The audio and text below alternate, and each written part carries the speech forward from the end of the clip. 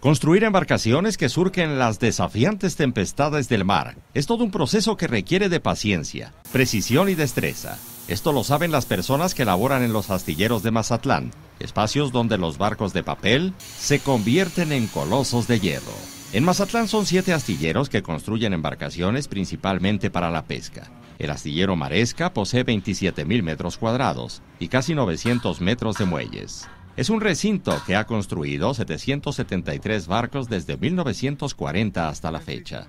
El proceso para elaborar un barco atunero o camaronero necesita de una planeación minuciosa teniendo en cuenta el diseño, la ingeniería, la fabricación, el corte de placas, el ensamble del equipo eléctrico, electrónico y el pintado tanto del exterior como del interior de la embarcación, para que finalmente se realicen las pruebas para por fin poner el barco a navegar.